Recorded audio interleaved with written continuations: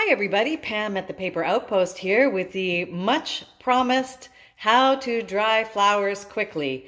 And um, this is the little gizmo I was talking about. This is not a sponsored video. This is just something that I happen to come across in, in my, you know, searches. And I found this little thing and it made my life a heck of a lot easier because I could do things relatively quickly.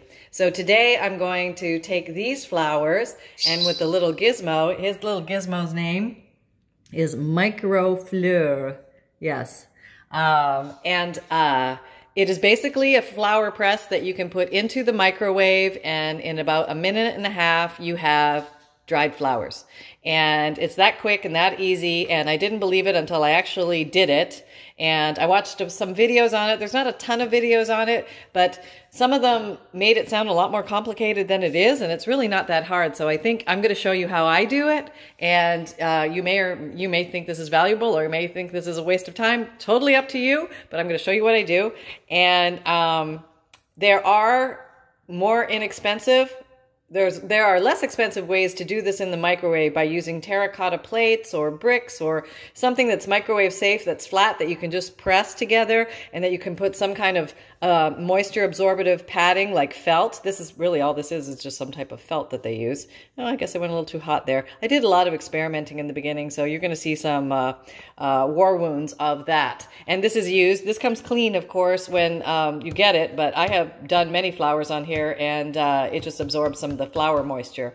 So basically, in a nutshell, what you're doing is you're making a, a giant sandwich. Okay, so on the outside, oh, I'm missing one thing. Hang on the clips. You must have the clips to put this together. So you need four clips. And uh, I think that's what makes it uh, nice and easy. Now, truth be told, um, this particular one I have is 9 by 9 and it's about 52 bucks to buy on Amazon. But you can buy a smaller one, 5 by 5 which I think is $29, which is a hefty price either way, the smaller the large one. But if you're going to do a lot of flowers, it might make sense. If you're just going to do an occasional flower every now and then, you might be better off just using the old book press method by sticking it in a book and forgetting about it and coming back years later going, oh yeah, I remember when I did that. Okay, because that's what used to happen to me all the time. So this was more time efficient and I like that. So here we go. All right, so basically you take a plate and you put the flat side up and you put one felt pad, moisture absorbing felt pad down. Okay, sorry for the bad camera work on this stuff, but I don't really have a a mobile setup or a, a tripod. So this is what we got. All right. Um, me and my hand. so I'm working one-handed. Okay, and then you put this cotton sheet down. So if you're trying to build your own, you could also think about this, like maybe a terracotta, maybe a tile or something like that that's very flat and a piece of felt and a piece of cotton. I'm not sure if that would work, but I kind of think it might. And then binding it together somehow. Um, okay, so what you do is I took uh, a hydrangea and I, have got some daisies and some rose petals because that just happened to be what I have on hand today. And the whole idea is you let, you need to, I, I would say do your thinsies together and then your thicksies together. So I'm going to do my thinsies first. And my thinsies I'm calling the hydrangea flower. Is that going to focus? Focus? No, okay, fine. You don't have to focus. I'm not going to fight with you today. All right, little camera. Um, and you want to put it face down. So you, put it face down and you try and cut off the little stem. You don't want the little stem because it's going to get in the way. So put it face down. Let me just put a bunch of these face down. Try not to make you seasick, sorry. All right, that one. And if I'm going too slow, please speed me up. You have the power. You have the power. It's in the settings button. Bottom right, I think. Um, okay, so we put some of these down. These are pretty blue ones. I, I wonder if they put them in a like a blue food color dye or something in the water to make them go blue, or are they naturally blue? Does anybody know? I bet we've got some horticulturalists out there, and they'll be like, oh, no, this is what it is. And then we all know, which is kind of nice. Okay, uh, okay, I'm not going to fuss over one that's folding over. I'm not fussing on you. Okay, so I'm going to put, do my rose petals on this one as well, because I would call those thins. Thins. All right. Oh, I forgot one thing extra. Okay, so I will uh, get that while it is... No, I will stay here. Hang on, don't move. I'll go get it right now. Okay, I just grabbed tweezers because they're very handy here. All right, we don't need those to the end though.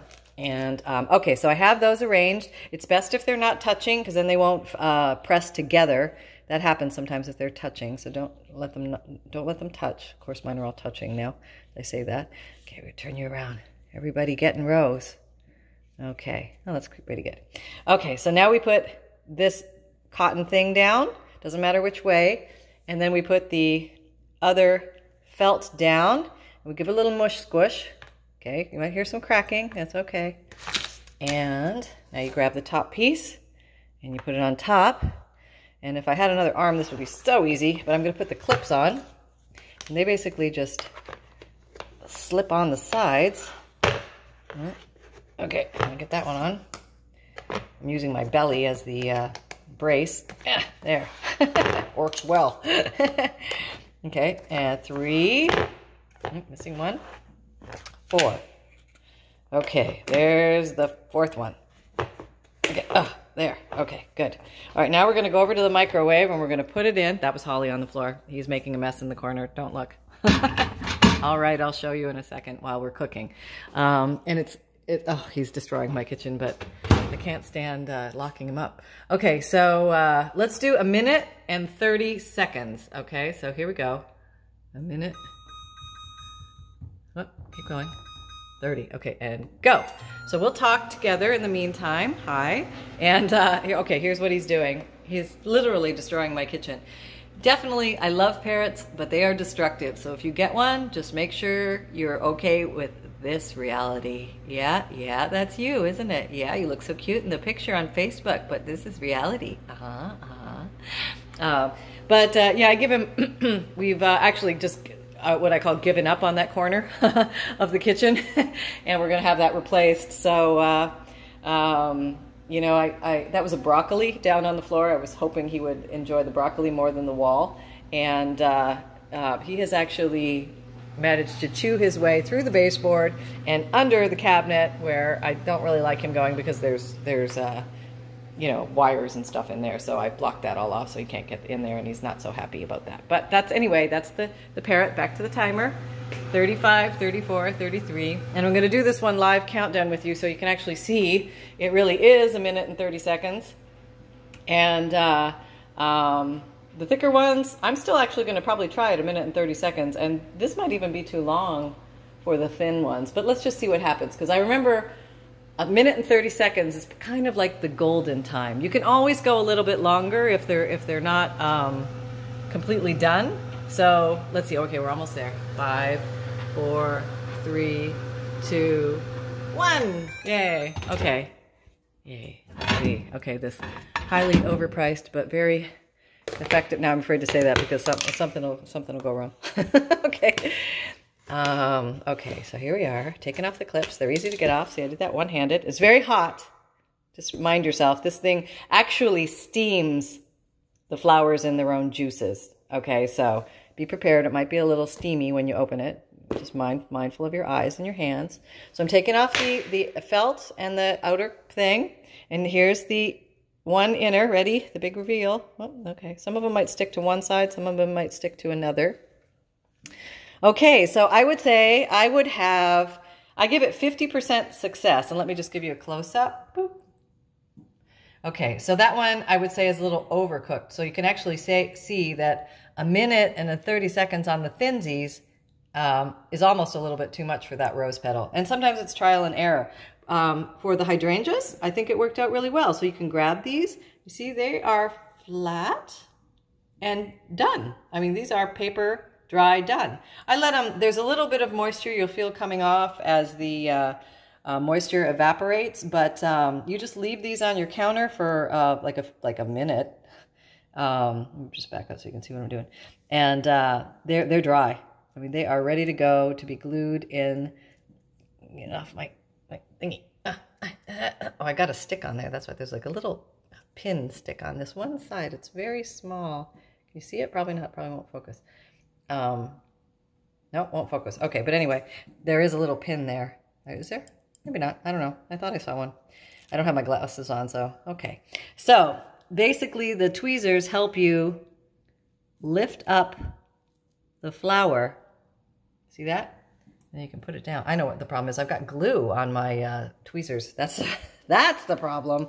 Okay. Not that there's a little stick. Um, the stick was the glue that I saw sticking down. Okay. Um, so anyway, here's another one. And yeah, yeah, yeah, yeah. There we go. See?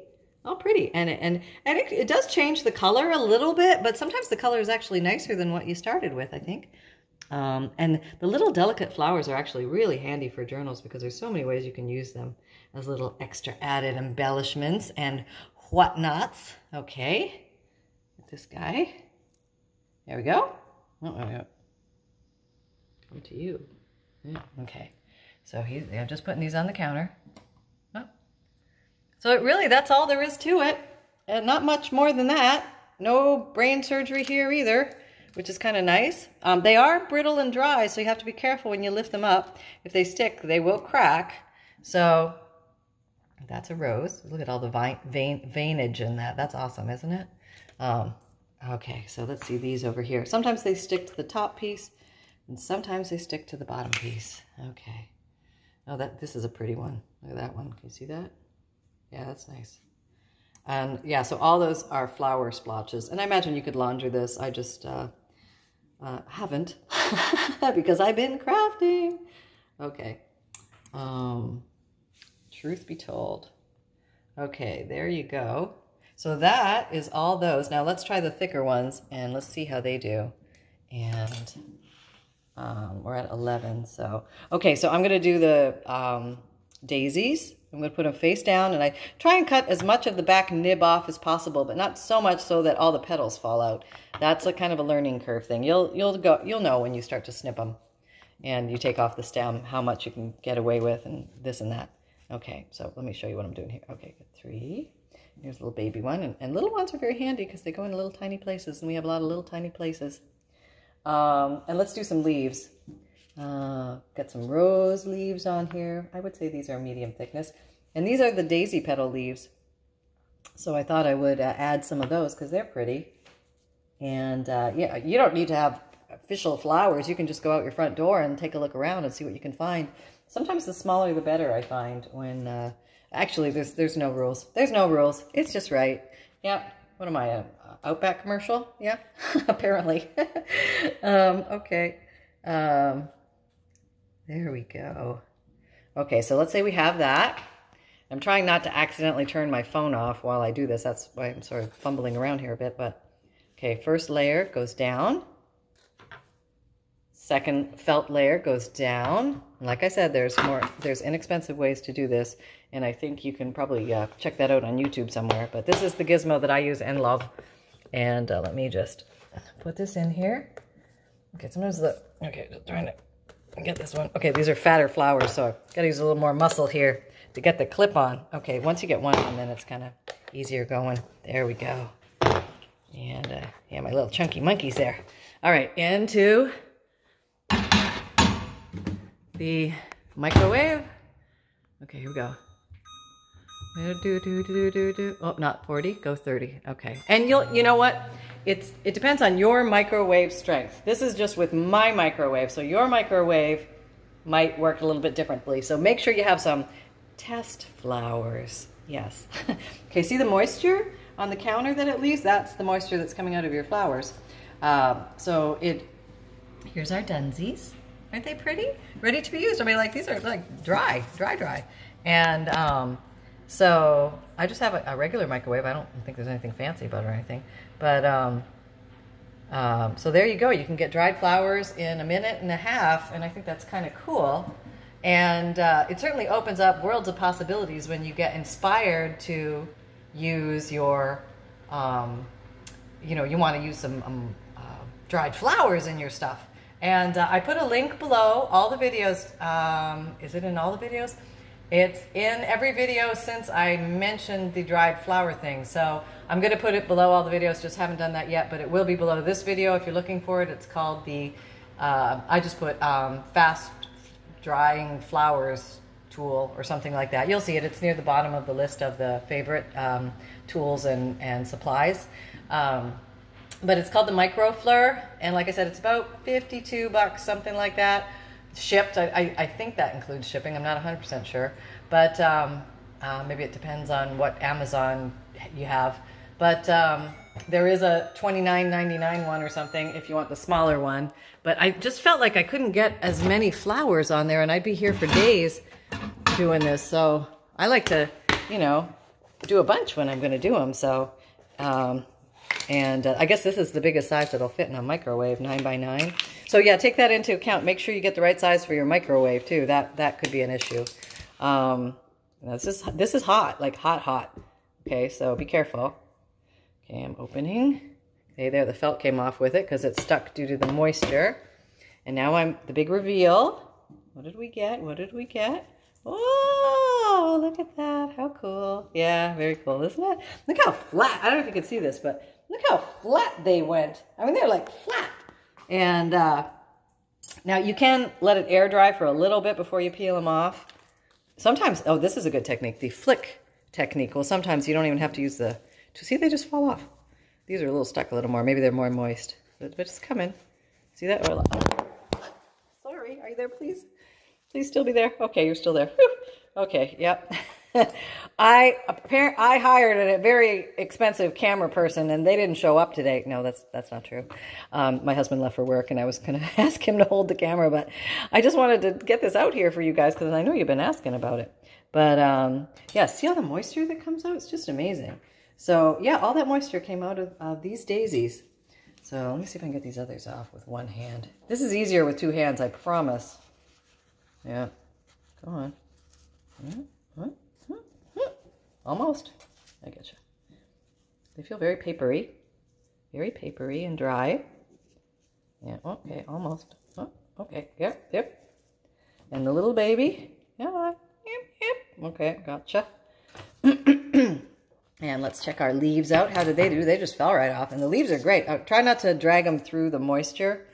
That would be, you don't want to put moisture back in after you just took it out. That would be silly. Okay, so I'm putting my dried leaves here. Very dry. Very dry. I wish you could feel them. Um, yeah, it's it's a quite a satisfying experience. Uh, you know, like I said, a little on the pricey side, but uh, you have to ask yourself honestly how much you're going to do of it. But if you think this could be a thing, and it might be a nice birthday gift for yourself, or uh, for someone to get you, if they're like, what what do you, what did you want? It might be the Microfleur fast drying microwave. Um, yeah, bone dry, bone dry. Okay, there you go. See, there they all are. So that was quick and easy, right? So um, I hope this helps and I hope you find it fascinating it and you think of so many things that you can use these for. I use these um, with my embellishments. I will actually just glue the flower or the leaf straight down on the paper with some Fabrifix that's a nice glue to use with this because it has a little bit of a uh, like a silicone jelly uh, texture to it. So it's going to have natural rock and roll flexibility and that's going to help cushion the leaf or the flower from fracturing when the page is turned. Now, Will these, uh, you can also sandwich these flowers between uh, two pieces of acetate uh, and make like a, a hard uh, rigid frame for them so they don't flex, um, which is a cool idea. I think um, you could do like a specimen of a flower um, or you could uh, decoupage the flowers down. I've done that before. That works really well. And uh, you can put these on journal cards or on your pages or on envelopes. Oh, they look really cool on envelopes. They probably wouldn't survive mailing, but they'd sure look pretty on just a decorative uh, envelope. And um, um, on your flips, um, on on page layouts. Gosh, you could have a whole page full of uh, flowers or a page full of leaves. Wouldn't that look cool? Um, and you could write like little genus and species or names or something like that under them. Oh, I don't know. There's just a million things that you can do. But anyway, this was very fun to show you this. And this is pretty much the entire operation. It's uh, pretty quick, easy, clean. And um, like I said, the link is down below if you're interested or you want to check it out. And uh, I think it's just a, I don't know, I've never heard of the company before. It's a small company, and um, but they do make this. And uh, I was talking to my florist about it because uh, we generally get a, a, like a fresh set of posies every week, and uh, we never know what we're going to get, but it's a great um, way to have a source for flowers if you like to work with flowers, and I do. And I would recommend the hydrangea flower. Let's say you don't have a lot of money for flowers, or you would like to use some of the fancier flowers, but they're really expensive, which they are. Um, a hydrangea is great because you get a lot of little flowers, uh, a little bang for your buck there. Focus, focus. Okay. Um, uh, there are many, many flowers in here hiding in the hydrangea. So one hydrangea will do you for quite a while. Actually, that was a tip he gave me. Use the hydrangeas for dried flowers. So I did. I did. And roses, of course, are always great. Uh, they may or may not retain their original color or they may transform to a new color, I have found. Leaves generally um, stay pretty green. I mean, you're, that's it. That They don't turn brown after this. This is sort of what you get.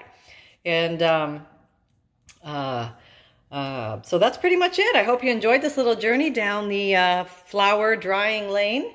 And I'll try and keep everything steady, steady and not make you seasick anymore. Um, but that's it. And uh, I had fun. I hope you enjoyed this process. Um, or at least gave you food for thought for a way you could maybe, uh, you know, uh, alter this so it's workable for you or would serve your needs. That's the most important thing. But the most, most, most important thing is that you have fun. Yes. So have lots of fun out there and get your crafting in and make sure you create with reckless abandon. And if you find value here, please like, subscribe, and share. Check us out on Facebook and the podcast and Pinterest and Instagram and Twitter and all these fun places. And all the links are down below, down below. And um, I'll be talking to you soon. Got more ideas coming your way. Take care, everybody, and uh, happy crafting.